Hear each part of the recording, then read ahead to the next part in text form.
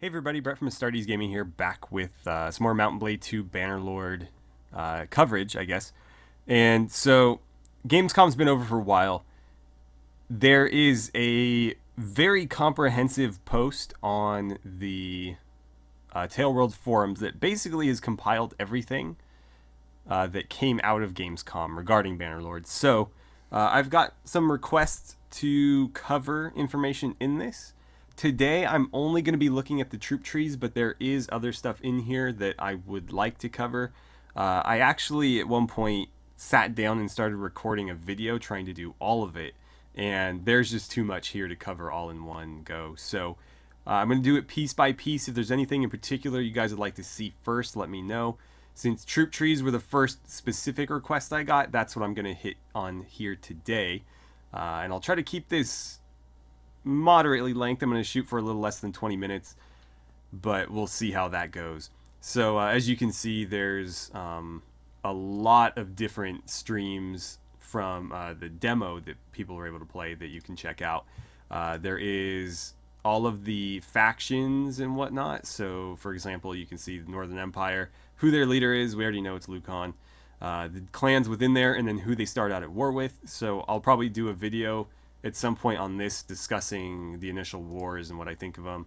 Uh, there's more information about the minor factions and who's involved in those.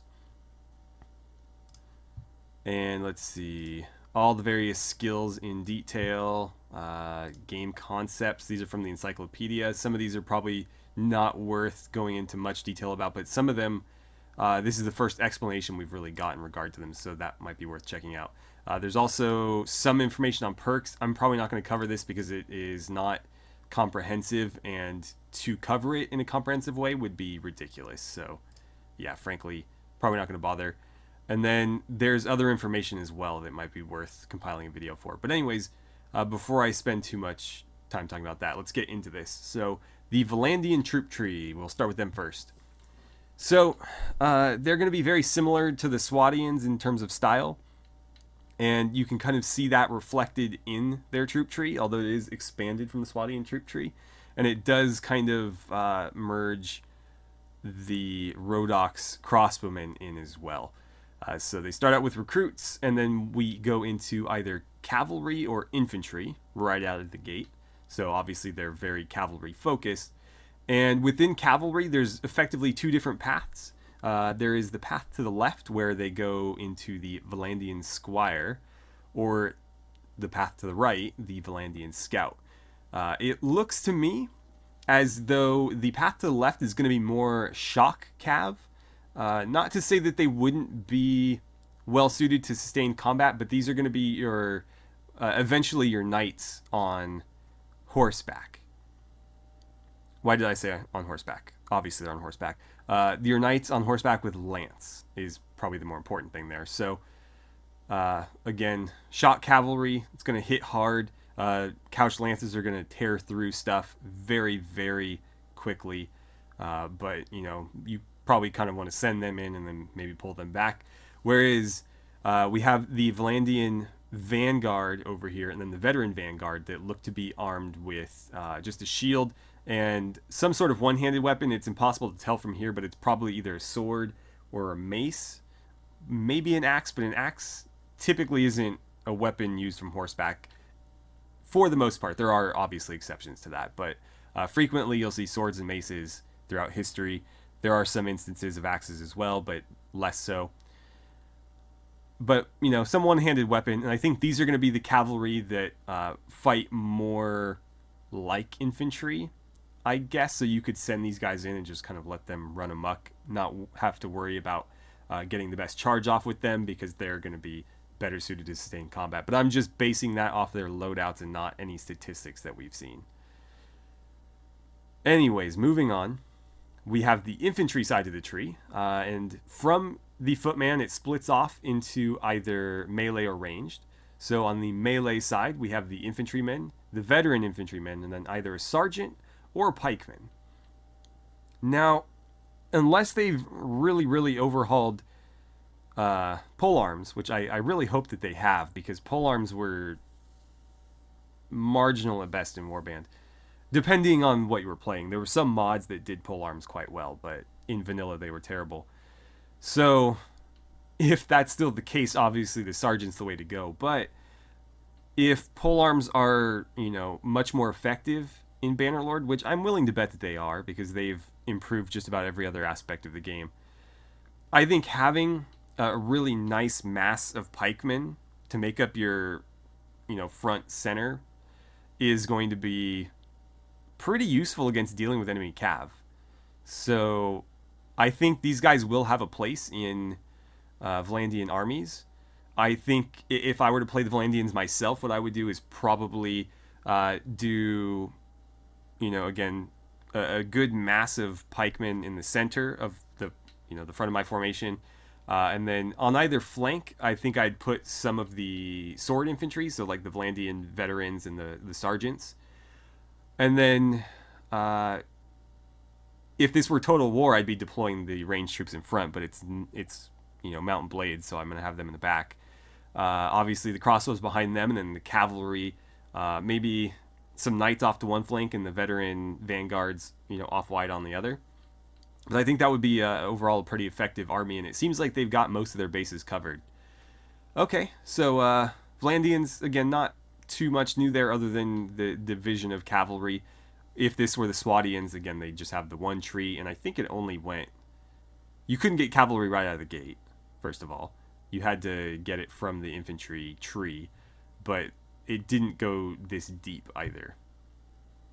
Okay, Imperial troop tree, and this is for all the different parts of the Empire, so there is no east or north or south or west or whatever. Uh, it's just Imperial troops. They start out with recruits, which, you know, of course everybody does, and rather than going um, infantry cavalry, here they're going melee and ranged out of the gate. From the infantry tree, they split into cavalry versus infantry. And it looks like they've done that because there is cavalry on both sides, so there's also cavalry on the ranged side that are mounted archers, so that kind of makes sense. Anyways, uh, we'll stay to the left first. From the infantrymen, we go either horsemen or trained infantrymen.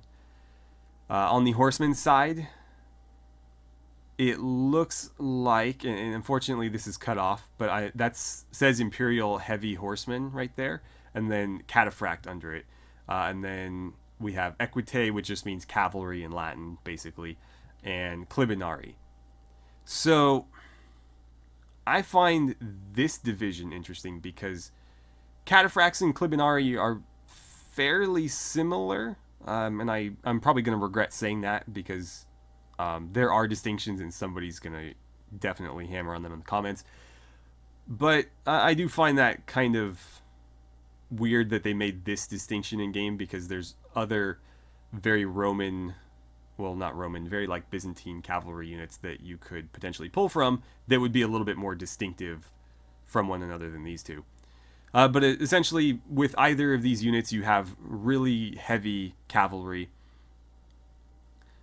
Um, the horse is completely covered in like mail or um, scale armor. The rider also covered head to toe, completely in armor, and in either case, you have a very long lance. With the Clibinari, I think generally you have a bow as well, but it's sort of meant to just harass the enemy a little bit before charging in. In uh, some cataphract units, you would see bows as well, but typically not in Byzantine or Roman ones. That was more of a Persian thing. Persian cataphracts would carry bows. Uh, I don't know of any instance of like Roman ones doing it. So, anyways, um, that's sort of the minor distinction there. Uh, and then we get into the melee infantry part, uh, which is fairly straightforward. You just have. It looks like they're carrying swords. Yeah, I'm willing to bet that this indicates that they're carrying swords as well, although that could just denote melee infantry. It might not actually specify the weapon type. In fact, let's refer back to this. Uh, yeah, so even the pikemen have a sword, so it's not not specifying the weapon type. And Uh, we start with infantrymen, we go to trained, and then veteran, and then we end with the legionaries, who are going to be their elite melee force. Not as much melee infantry diversity here, so they don't have uh, like pikes, which is interesting because you know the the Byzantines had the Menavlatoi pikes because um, there was a lot of pike tradition in that area from the uh, Macedonians, but uh, no pikes for them or spears for that matter. It looks like it looks like it's all swords, so they might have a harder time dealing with cavalry charges, but they have some pretty good cavalry of their own to counter it with. Uh, and then they are going to be using archers, not crossbows, like the uh, Vlandians. Which did I even touch on them? I mean, it's it's basically exactly the Rhodoks ranged units. So yeah, nothing really new there.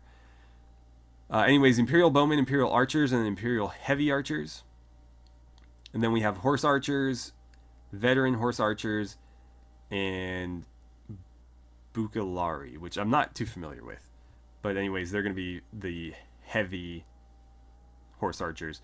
And it looks like, at least in the latter two cases, they're carrying a shield and a polearm, probably uh, just a thrusting spear, likely not a lance. And then for the regular Imperial Horse Archer, if there is a shield, it's significantly smaller. I don't see one though. Uh, and they are carrying a polearm as well. So again, less diversity in the infantry, but a lot of cavalry to play with there. Uh, now we get into the Khuzaits, the, the real horse lords, who actually have less cavalry to choose from, interestingly enough, unless there's part of the tree that we're missing. They're also going to go straight from their recruit unit into Oh, actually, this is kind of new. Um, either mounted archers or regular archers. Strange. Yeah, I'm wondering if we're missing part of this tree. No, because there's there's melee infantry here, uh, and then there's melee cavalry there. So I guess this is it. On the cavalry side, it looks like uh, we have raiders, lancers, and heavy lancers for the melee troops. So they're going to be focused more on shock cavalry, it looks like. Uh, the Lancers are going to be more of a hit and run style than they are a sustained fighting style uh, type of cavalry. And then, of course, the horse archers, um, and then they have some pretty beefy looking horse archers down here. But otherwise, this is essentially the same types of units that we saw with the Empire, although these guys are not carrying pole arms that I can tell, although he might be up here. It's difficult to see what that is on his back. It very well could be a pole arm. No shields as far as I can see though. Uh, and so these are likely carrying just a sword or something to that effect. And then this guy is probably going to have a pole arm or some very basic type of sword. On the infantry side, they go straight into archers, which is very interesting. So these guys are going to have a lot of difficulty with their lower tier units in terms of taking and holding ground because they're not going to be able to stand and fight. They're going to always have to be moving, at least until they get into the, the more elite tiers. So uh, they have spearmen, veteran spearmen, and then either guards or Tarkans. And interesting, these look like swords. They don't look like spears. Unless it's just a very long blade on that spear or point on that spear which is possible. There are some spears with very elongated tips, but uh, that's besides the point. They're called spearmen. Let's just assume they have spears. These guys have shields so big you can't even see their faces. That might get in the way in combat for them, but they look to be a spear unit as well. Just basing it off whatever weapon these guys are holding, it looks to be the same one. The guard, I can't tell what he's carrying. It's clipping through his shield, though, so I'm willing to bet these portraits aren't final. uh, he's also not wearing a helmet. Uh, that's probably a bad idea for an elite unit, but uh, there we go. Very difficult to make out any more on these two, given how large their shields are. But they have two choices of elite infantry, melee infantry, that is. Um, I'm willing to bet one is more defensive and one is more offensive, but uh, it's hard to say with what we can see here. Then, of course, we have their archers. Uh, pretty straightforward there. All right, so uh, moving on, we have the Sturgians, who, uh, again, for those people that are constantly complaining that there's no Nords in this game, this is going to be the closest thing to it for or to them for you. Uh, so, whoops. They start with volunteers, and we go into footmen and skirmishers, so melee infantry or ranged infantry. And that's a very interesting division that they've chosen there. We can't see what this is, which is a real shame. Yeah, that's a bummer. Is it on any of these? They got the whole tree over here, even though they had to cut it. Wait, why is there two different ones? That's odd. Anyway, uh, let's not move on to those yet. Unfortunately, yeah, we can't see what's over here. I'm willing to bet that this is going to be their sort of more vanilla infantry. We don't see any units in here with like large shields. And that is uh, large round shields. And that's one of the hallmarks of this faction. So I would be willing to bet that these three units are just increasing quality, uh, like sword shield infantry, potentially axe and shield infantry, but definitely large round shields. Uh, then on the opposite side of that, we have what looks to be more like shock infantry. So Sturgian Warrior Sons, Huscarls, Huscarl Swords Guard, and Mounted Huscarls, uh, all with what looks like very large two-handed weapons. So these guys are going to be the ones you don't hold ground with. These are going to be the ones that you kind of break formations with. Then we get to the range side. And again, I said this was weird because, first of all, they have mounted Huscarls duplicated, which I don't know why you would have that. Also, this starts off ranged and then it splits off into what looks to be like shock cavalry. These are all pole arm armed cavalrymen, which they look long enough to potentially be lances, but given that this faction is based on the Kievan Rus, uh, Rus Kievan Rus, um, I don't know that that would be. Uh, given the time period, maybe. Yeah, maybe. Uh, but then otherwise, they have, you know, very basic archers. Finally, uh, well, not finally, moving on, uh, we have the Aserai, the very, you know, Arab faction. From slave soldiers into trainee slave soldiers, into seasoned slave soldiers, and then we have the Mamluks and the Ghazal or Ghazi. I can't quite read that. What's kind of interesting here is that they go into two different melee infantry troops. Uh, obviously, this is laying very heavily into the, the slave soldier route because Mamluks were famously slave soldiers. But uh, it looks like you can choose between slaves or free men. And if you go free men, we get the tribesmen, who then split into either infantry or skirmishers, so melee or ranged. From there, uh, the infantry turn into swordsmen, which can then become cavalry. So no elite infantry for them. No elite infantry. Very large amounts of uh, elite cavalry, though. Uh, on the range side, they go into either uh, more cavalry or archers, and finally into master archers.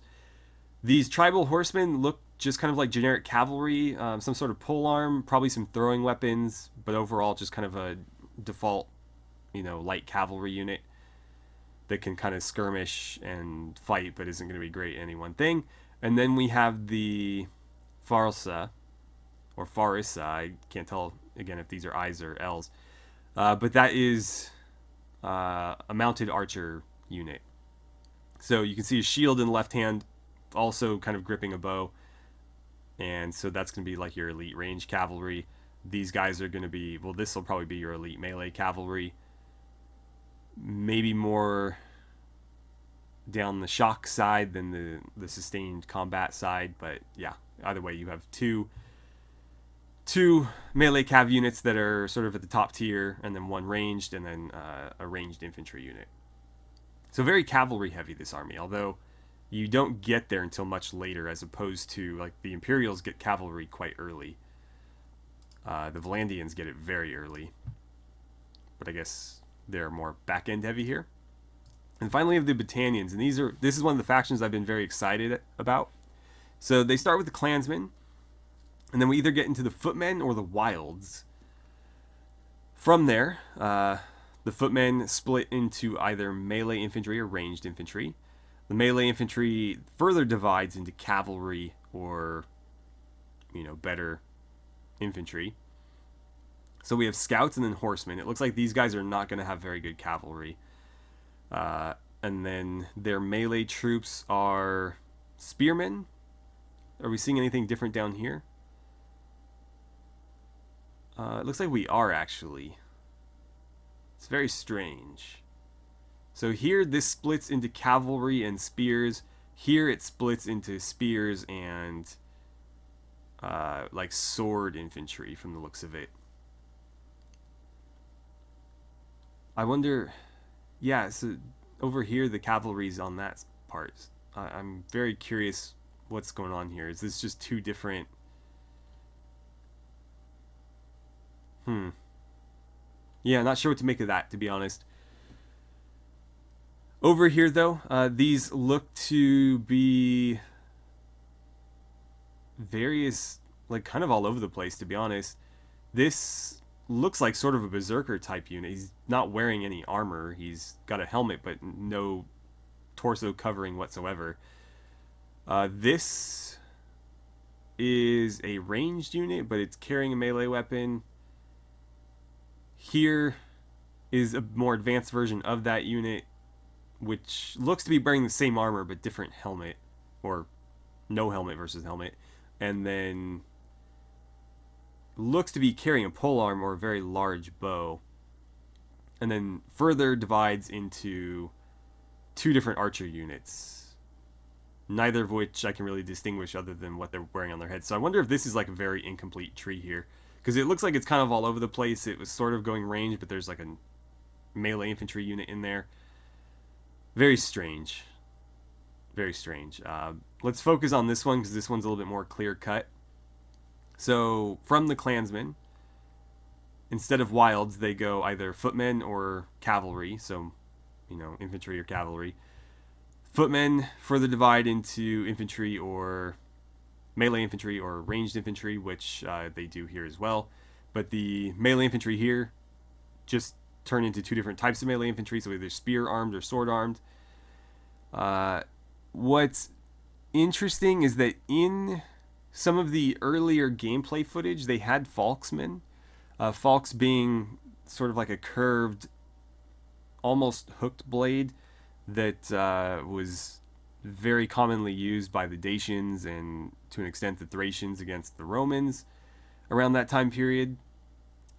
And at some point they had Falxmen in this troop tree, and it looks like they've been removed because they were actually called Falxmen and we don't see any reference to that name or weapon here. I don't see it depicted anywhere, although it's very difficult again to determine what these guys are carrying. Uh, we get into the archer tree. This faction is supposed to have the best archers in the game uh, with their very good longbowmen. But I'm willing to bet that the Aserai Master Archers might give them a run for their money. These guys will probably hit harder. Of course, they have you know the really heavy longbows, which will deal more damage. But these guys will probably put out a lot more shots. So it, it's probably going to come down to whether you want like rapid fire or, um, so like submachine gun or uh, sniper rifle, basically, is the best way to summarize that, I suppose. Uh, so, yeah, there's their archers, and then obviously the cavalry over here is the same cavalry we saw there, just uh, apparently much earlier in the tree. So yeah, I'm, I'm not sure what's going on with that, to be honest. I wonder if maybe these are only accessible given a certain situation.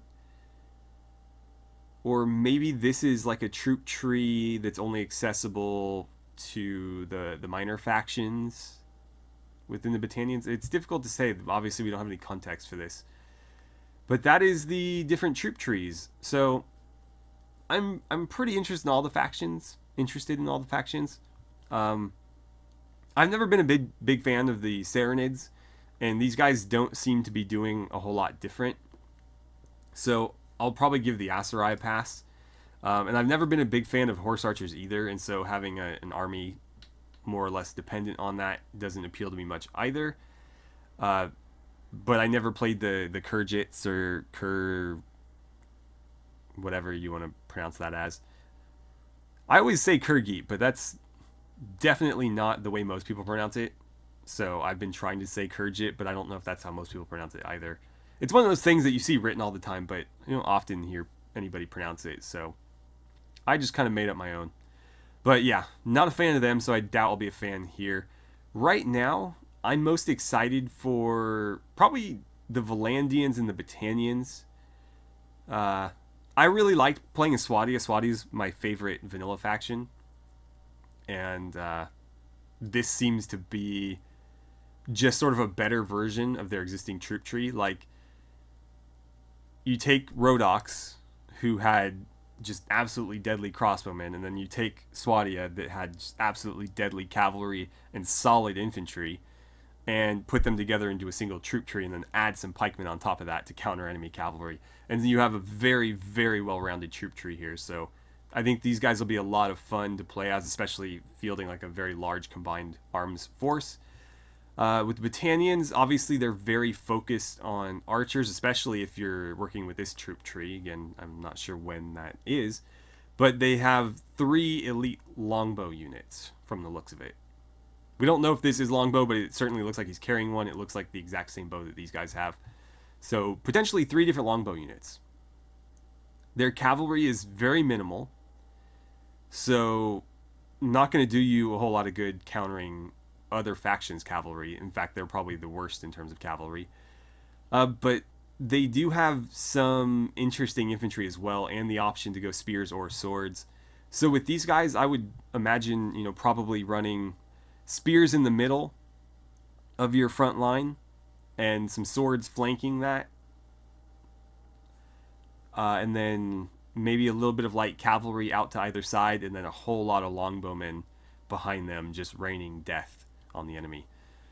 Uh, and then if I had to pick a third faction, it would probably come down to either the Imperials or the Sturgians. Obviously, those are the only two left. Uh, I am definitely excited about playing as the Empire. I want to take a couple attempts at it, uh, maybe restoring it from within, or uh, maybe starting within and then overthrowing it to become Emperor. But I, I would like to maybe just kind of be a regular lord within it, just trying to you know keep things going as well. I think both of those play styles would be fun in one of the imperial factions, and they certainly have a very I don't know if well-rounded is quite the right, word. I, I guess because they do have a good variety of cavalry. Um, it's unfortunate that their infantry is a bit limited, but I guess with that much cavalry, it would kind of be unfair. Uh, but they do have legionaries, which are probably going to be one of the better melee infantry units in the game. So it's not that they're bad, it's just that you don't have options. And then with the sturgians, uh, it looks like they're going to have a ton of infantry options. So if infantry is more your style, you probably favor these guys over the Empire. Uh, not so much in terms of cavalry, but they do certainly have more than the Battanians. So they'll be better in that regard at least. And their archers are probably going to be decent. They look to be longbowmen down here. That looks like a longbow.